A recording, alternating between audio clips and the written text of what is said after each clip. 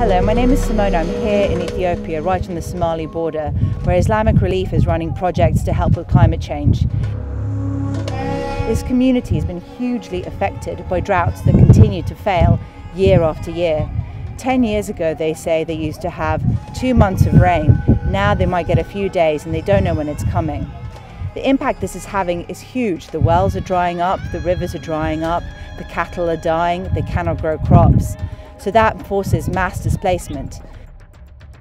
This village, it used to be just one village, one tribe.